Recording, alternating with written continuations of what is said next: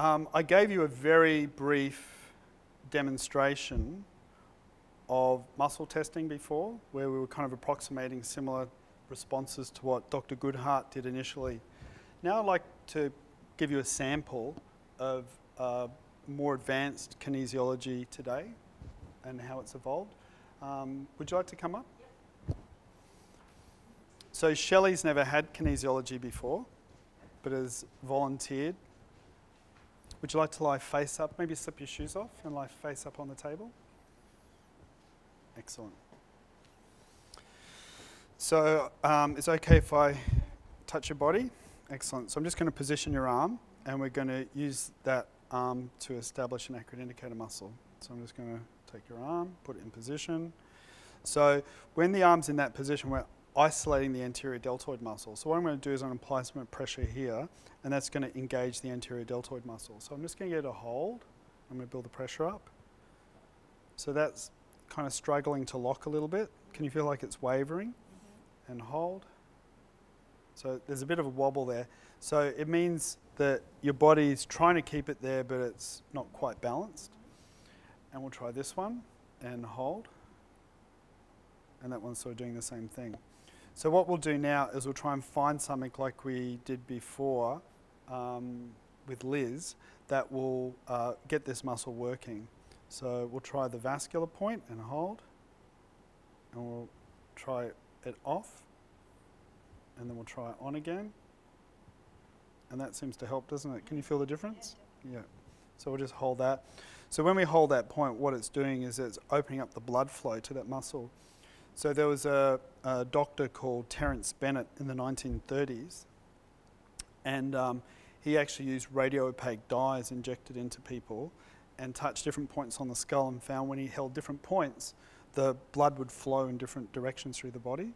So when we touch this point now, it's creating more blood flow through that muscle and, and helping it to balance itself.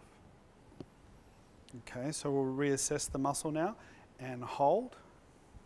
You feel the difference? There's not that struggle anymore. And hold. Excellent.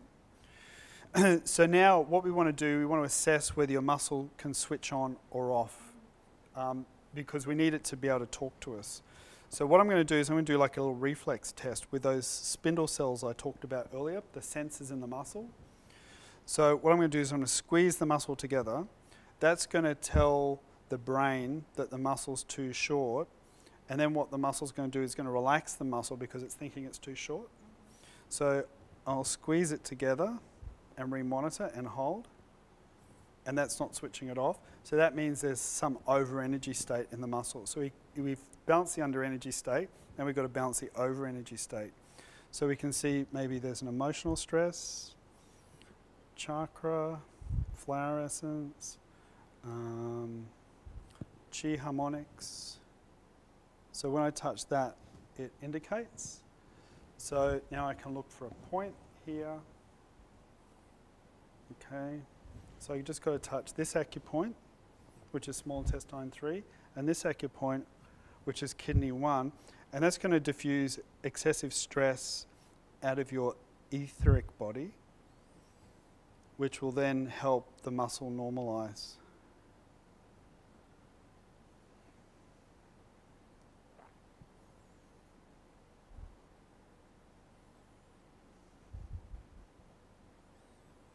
Can you feel any changes?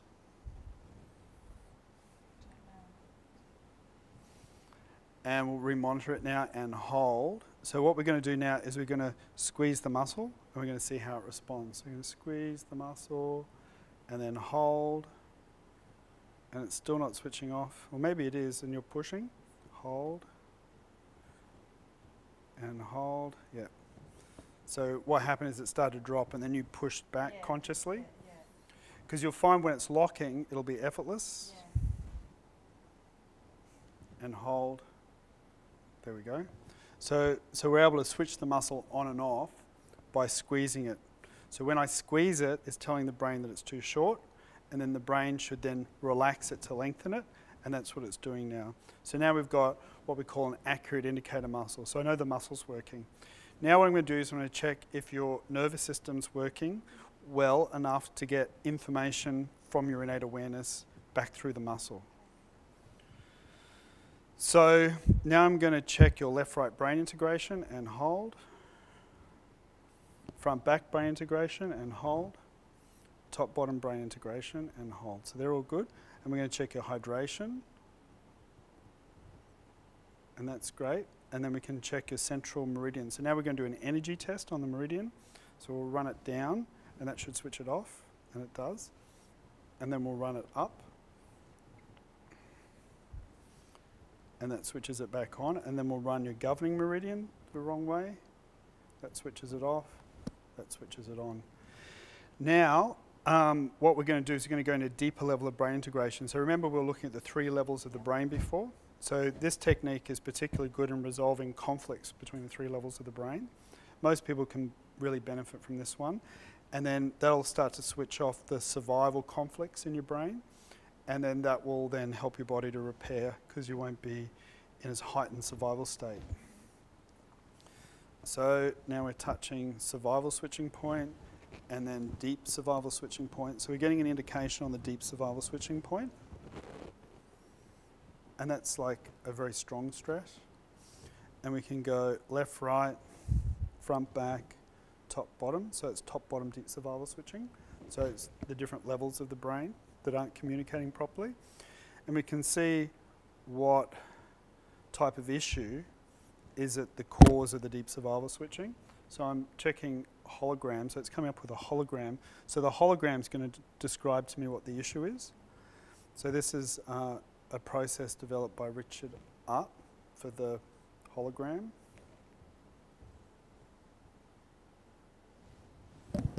So it's come up with a kidney hologram. So kidney is the object. And now we're looking for the reference.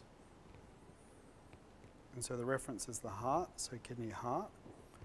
And we'll see if it's a thought, a feeling, or an attitude. So there's an attitude.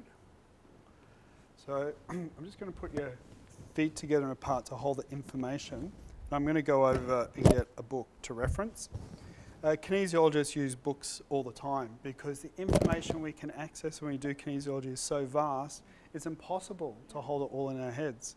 So sometimes people go, oh, he was pretty good, but he must have been learning because he kept looking at books.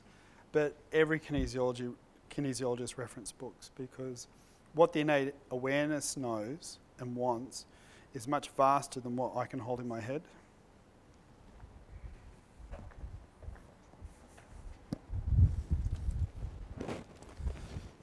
So we're looking up kidney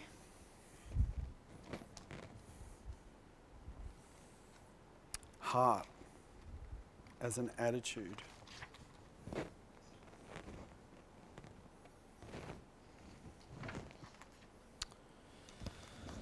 Alrighty, so it's coming up with uh, total mental, physical, and emotional fatigue from long term stress. There you go. And you're at the level of dissolving it, which is good. So you're not at the beginning level of processing it, you're at the end level of it. So maybe you've had a lot of stress in the past, mm. you've recovered from it, but there's still elements of it still lingering.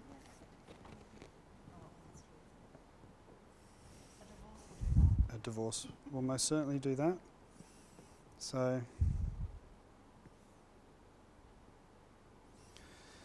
So, so I'll just get you to say, I tap into my abundant energy resources. Do you sometimes feel low energy? Your, your energy levels are pretty good? Yeah. So I'll get you to say, I tap into my abundant energy resources. I tap into my abundant energy resources. And hold. All right.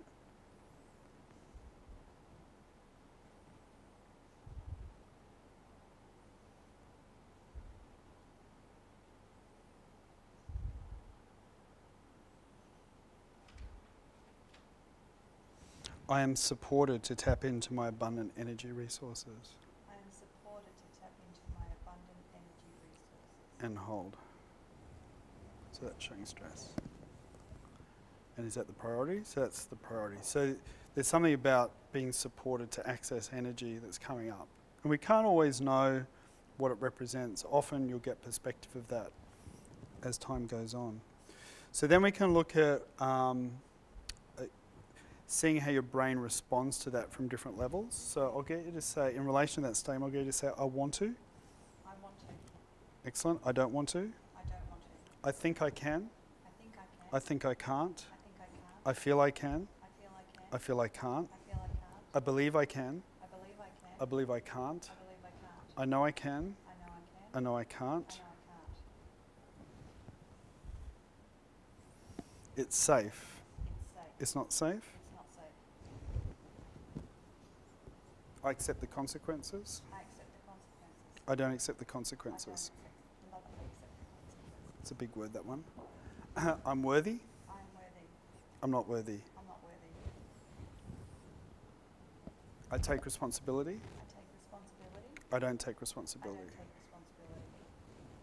Excellent. So some of those statements were in conflict and reversal.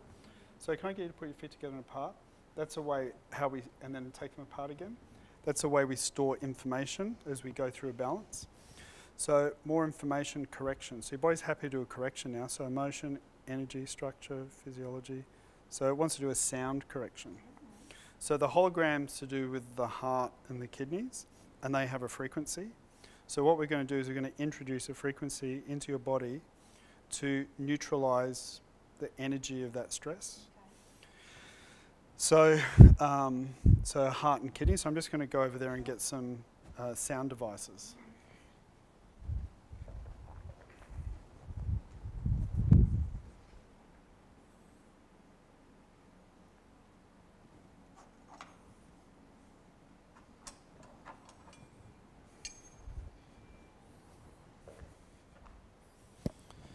So each of these tuning forks is tuned to a meridian. This one's tuned to the heart, this one's tuned to the kidney.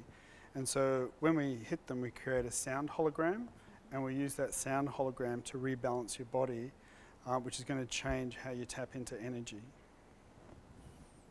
So I'm going to just tap them as a sampler. and then I'm going to ask your body how many times you want it dinged. One, two, three, four times. Your body wants four dings. And we're going to see where. So around the solar plexus region. So what I'm going to do is I'm just going to tap them four times. So your body has asked for that, and it's told me where it wants it, and it's told me how many times it wants it. So it's a very specific request to neutralize the stress that's in your body. So I'll just start that process.